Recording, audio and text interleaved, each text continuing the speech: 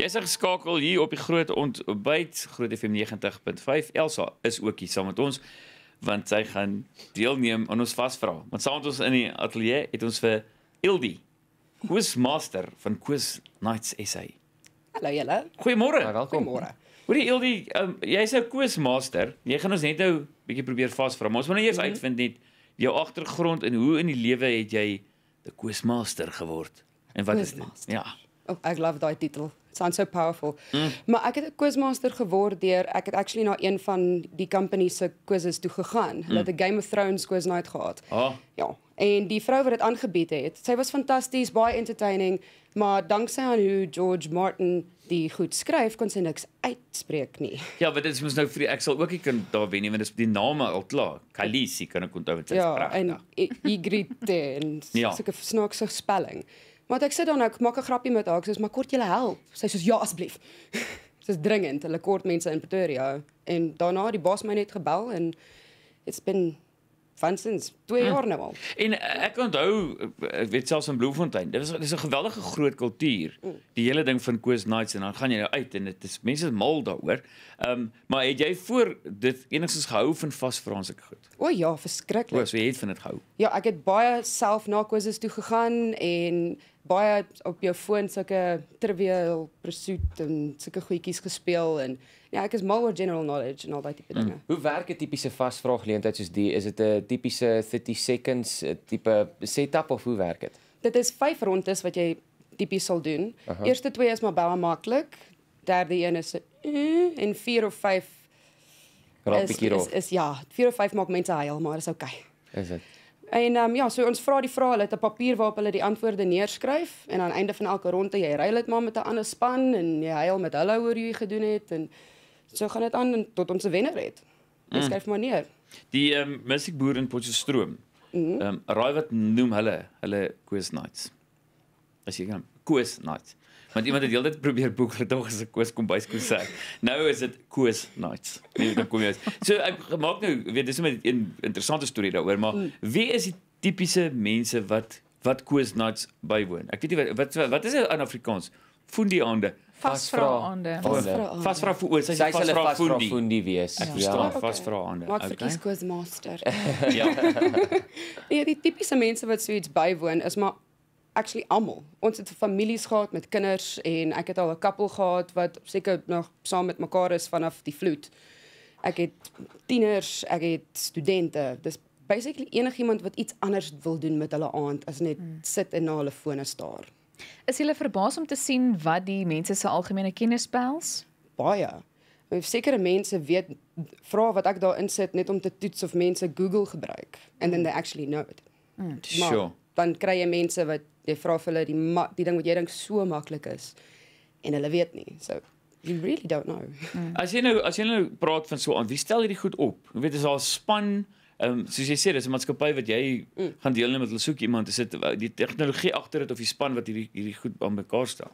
Dit is um meestal ek en een van die ander groot koppe van die maatskappy wat die papiere maak. Okay. Maar elke quizmaster sit ook sy eie twee vrae by per ronde per venue want jy jy leer maar jou mense ken en wat Mm, hierdie mm, mm. presi- spesifieke plek se mense van hou of sulke goed. Ken jy gewoonlik al die antwoorde voor die tyd? Nee. Of is dit ook maar Google? Uh ek doen 'n bietjie navorsing vir die tyd om seker te maak alles is reg, mm. maar uh mense dink altyd die quizmaster weet alles en ons sê ons doen, maar Jy in een it. oor uit 'n ander. Jy vergeet mamma, ek het Google, so is okay. Alright. Sjoe. Ons gaan nou hierna gaan jy vir ons bietjie vasvra, maar ek het nog 'n paar vrae oor hoe dit prakties werk. Jy weet, moet 'n ou nou daar sit en dan gaan jy soos Okay, jy vra die vraag. Juffrou, juffrou, jy wil iets sê. Ja. Dis nie so nie. Nee, nee, Dis nee, nee, ek dink Dis iets anders, maar ons gaan nou daaroor uitvind en dan gaan sy ons vasvra. Elsa, hoe oud is Rian Kruiwagen? Baie oud. Presies, jy wen. Baie oud. Ehm Saam met ons het ons 'n uh, quizmaster Ildi. Ehm um, dit klink uh, amper soos 'n geheime organisasie, maar dit is nie. Dis van Quiz Nights SA. So ons het nou vinnig uitgevind mense, jy weet dit gaan oor vasvra, maar wat gebeur nou? Jy weet steek jy jou hand op, is daar 'n knoppie wat jy druk? Jy kom nou by die plek aan. Nee, verduidelik vir my hoe werk Quiz Night. Ek was nog op een nie. Nee, gewoonlik jy maak jou span van maksimum 6 mense, minimum 1 en jy kry 'n papiertjie waarop jy jou goed neerskryf. So Hmm. ja. Dis 5 rondes, 10 vrae per ronde. Laastens amper altyd 'n musiekvraag. Jy skryf maar neer, praat met jou mense en dan ruil jy jou papier met die ander span om te merk. Maar julle gaan nie nou-nou skryf nie. Ons gaan die ons gaan dit net moet doen. Ja. Maar ek dink daar's definitief geleentheid om 'n knoppie ding te doen. Ooh, Ja? Jy moet jy moet vir jy moet vir jy moet vir die? Nee nee vir julle. Ek dink mense kan dit soos 'n bietjie verder vat om te sê nou gaan jy knoppie druk. Dis bingo. Um, dit kan nogals werk, ja. ja. Ek het wel ek het wel van Google gebruik gemaak of Google gebruik en ek dink die ouderdom is 72. Kan jy Ja. glo my lyk 62. Mag mag deelnemers op daai oomblik gebruik maak van Google? Glad nie. fone af. Maar hulle probeer. Mm, mm, hulle probeer. Ja, ons het elke liewe aand mense wat probeer kroek en hulle dink ek kom nie agter as hulle na hulle skote staar met 'n lig in hulle gesig wat skyn nie. Mm. Want ek altyd nee, ek praat met my vrou, ek gee nie om. Ah, hulle jok. Het jy al uh, iemand maar ontdek nou jy's nou in Pretoria waar jy nou meestal werk wat jy regtig nie kon glo dat hierdie ou soveel weet of hierdie vrou soveel weet nie. Hm, Ek het 'n span by een van my quizaande wat amper altyd wen. En as ek sê amper altyd is 99% en die goed wat hulle weet. Dis net Is- fenomenaal. Ek kan dit nie glo nie. Ek weet nie soos 'n kwart van dit nie. Al stel ek die vrae op en hulle is net amazing mense. Het jy dalk vir ons 'n wenk in terme van 'n toepassing wat ons miskien kan gebruik of 'n boek wat ons kan lees wat basies die Brein oefen. ja, brein oefen of of, of, of al daai uitbrei. algemene kennis wat mens waarvan mens moet weet. Ehm um, vir jou aanleer. Ek sal sê om te prep vir so quiz nights, jy moet maar random Wikipedia artikels lees en daar's ook games wat jy kan kry vir jou foon, quiz app en sulke goed wat jou sal help met jou um, algemene kennis. Jy weet nooit wat gevra gaan wees, maar die beste manier is maar bl- bly up to date met wat aangaan in die wêreld en lees op. As 'n mens kyk na die tipiese samestelling van vrae, watse tipe onderwerpe behels dit gewoonlik? Alles. Is dit van algemene kennis tot Sport tot aktualiteit? Presies. vraag. Letterlik alles. Ja, daar's bietjie minder finance want jy Is weet nie, wie weet dit. En bietjie nie daar's nie altyd so baie sport soos wat mense van sal hou nie want jy, Dis By 'n ons ken kroeg. baie van sport, ja, by of jy love dit of jy haat dit. Dis 'n daar's nie 'n midway nie. So ons, Ja. En dan, wat wen jy? elke plek se goed is anders. Okay, wes, maar daar's altyd iets wat jy kan wen. Daar's altyd iets wat jy Yes. kan wen en die lekker ding van ons maatskappy is ons doen ook wat ons noem quiz leagues waar as jy nou 'n regular word by een van ons plekke en jy is beter as van die ander spanne, dan gaan die top 4 van elke plek teen mekaar so twee keer 'n jaar en die wenners daarvan gee ons vir hulle 'n verskriklike groot prys. En dit is gewo- die, e- die eerste een wat ons gedoen het was 'n trip, 'n cruise vir 6 mense. Ja. En nou doen ons paar duisend rande wat ons weggee met daai is moeilike goed. Mm. So dit is vir die top notch quiz mense daai. Sjoe, okay.